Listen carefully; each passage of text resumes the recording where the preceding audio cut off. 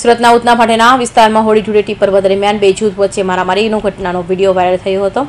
બે જૂથ વચ્ચે પાણીની ઠેલી નાખવા બબાલ થઈ હોવાનું પ્રાથમિક દ્રષ્ટિએ વિગતો સામે આવી હતી. સમગ્ર રાજ્યમાં હોળી ધૂળેટીના પર્વની ઉત્સાહ સાથે ઉજવણી કરાઈ હતી. ત્યારે રંગોના પર્વમાં દર વર્ષે બનતી નહેર તળાવોમાં તેમજ નદીઓમાં નાહવા પડવાથી ડૂબી જવાની ઘટના ખૂબ જ નહિવત જોવા મળી હતી.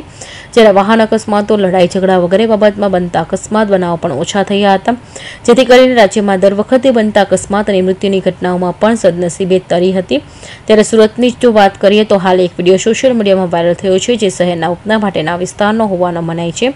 વિડીયોમાં બે જૂથ વચ્ચે છૂટા હાથે મારામારી જોવા મળી રહી છે. બારથી તેર સેકન્ડના વિડીયોમાં થઈ રહેલા ધક્કામુક્કી તેમજ મારામારીની ઘટના દરમિયાન મહિલાઓ પણ બચાવમાં ઉતરેલી નજરે પડે છે. બે જૂથના યુવક રીતસરના એકબીજા ઉપર ગુસ્સો સાથે તૂટી પડતા નજરે પડે છે. જોકે બે પક્ષો વચ્ચે જૂથ અથડામણનું કોઈ ચોક્કસ કારણ જાણી શકાયું નથી. ત્યારે પ્રાથમિક દ્રષ્ટિ મળી રહેલા માહિતી પ્રમાણે હોળી ધૂળેટીના પર્વ દરમિયાન ઉધના ભાટેના વિસ્તારમાં વીડિયો સોશિયલ મીડિયામાં વાયરલ થયો હોવાની વિગત સાંપડી હતી. જે માત્ર નજીવા પાણીની ઠેલી નાખવા બાબતે બાબતે થઈ હોવાની વિગત વિશ્વસનીય સૂત્રો પાસેથી મળી હતી. Bureau report Hind TV news Surat. તેર.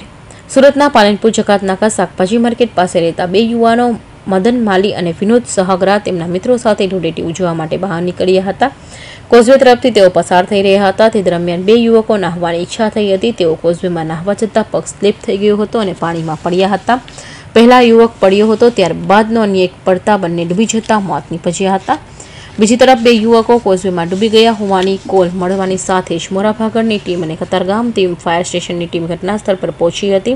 ડૂબી ગયેલા યુવકને બહાર કાઢવાની કામગીરી ખૂબ જ ઝડપથી શરૂ કરી દેવાઈ હતી અને યુવકને મદન માલી અને વિનોદકુમાર સહાગરાને પાણીમાંથી બહાર કાઢી એકસો આઠમાં તપાસમાં બંનેને મૃત જાહેર કરાયા હતા. Bureau report in TV news Surat.